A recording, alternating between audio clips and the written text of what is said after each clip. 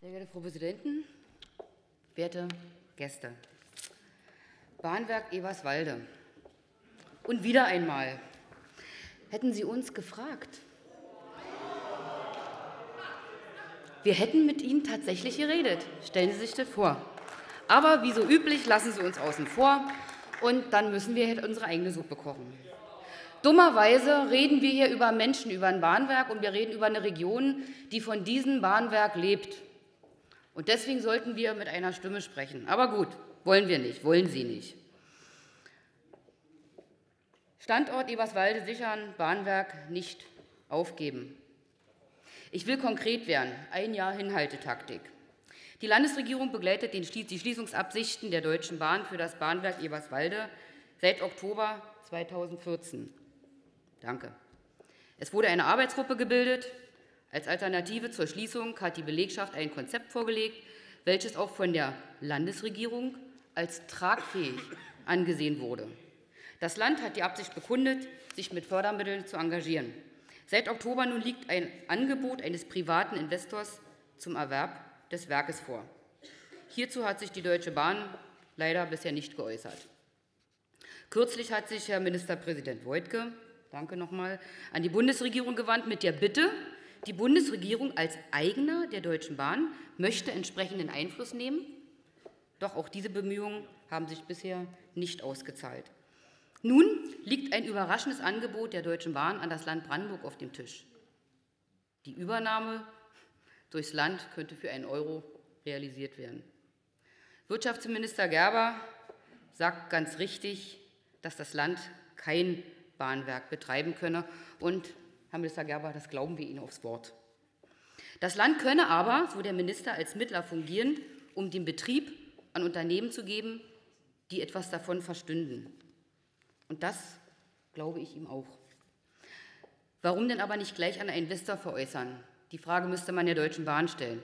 Aber vielleicht wäre das ja im Zuge äh, der Gespräche mit der Bundesregierung noch mal möglich. In unseren Augen kommt dem Staat die Aufgabe zu, die Rahmenbedingungen für die soziale Marktwirtschaft zu setzen und sich als wirtschaftlichen Akteur zurückzuhalten.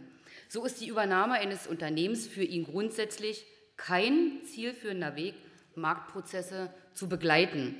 Nun sehen wir die Region Barnim im Norden unseres Landes, eine strukturschwache Region, mit rein marktwirtschaftlichen Prozessen werden wir die Menschen dort nicht mit ausreichenden Arbeitsplätzen versorgen können. Das ist uns klar. Und es gibt durchaus Fälle, in denen Markteingriffe sinnvoll sind. Diese Markteingriffe beherbergen aber immer die Gefahr, wie Sie schon sagten, Herr Bartels, Präzedenzfälle zu schaffen. Und das sollte vermieden werden. Und vergessen wir nicht, ein Engagement des Landes ist immer mit dem Einsatz von Steuergeldern verbunden und deshalb ist ein sorgfältiges Abwägen aller Aspekte notwendig. Und eine Abwägung ist in diesem Fall dringend geboten. Es geht um 350 Arbeitsplätze, es geht um einen wichtigen Standort und einen der größten Arbeitgeber in der Stadt.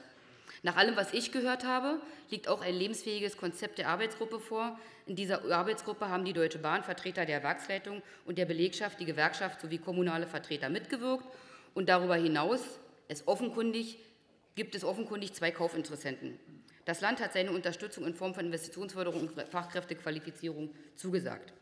Warum denn die Deutsche Bahn erst nach über einem Jahr mit einem fraglichen Angebot an das Land herantritt, darüber kann man tatsächlich nur spekulieren. Man spricht von Marktbereinigung, das Angebot sei vergiftet oder aber es wäre nicht ernst gemeint. Das darf uns aber nicht davon abhalten, alle Optionen zum Erhalt der Arbeitsplätze zu prüfen. Denn das sind wir den Menschen in Eberswalde schuldig.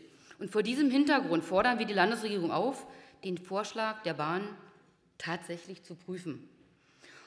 Denn ein verantwortungsbewusster Kaufmann fällt keine weitreichende Entscheidung ohne Prüfung. Und diese Prüfung muss zwingend beinhalten, dass eine Übernahme, eine mögliche Übernahme juristisch grundsätzlich möglich wäre, dass es tatsächliche Kaufinteressenten gibt, dass das Konzept des Kaufinteressenten belastbar, langfristig, nachhaltig tragfähig ist und dass das Land nicht als Betreiber über einen längeren Zeitraum einspringen muss und dass der Steuerzahler nicht unverhältnismäßig belastet wird. Wenn diese Voraussetzungen erfüllt sind, dann wäre ein staatlicher Eingriff immer noch ordnungspolitisch bedenklich. Aber ich denke, in der Verantwortung für die Menschen vor Ort könnten wir diesen rein theoretisch noch mittragen. Danke.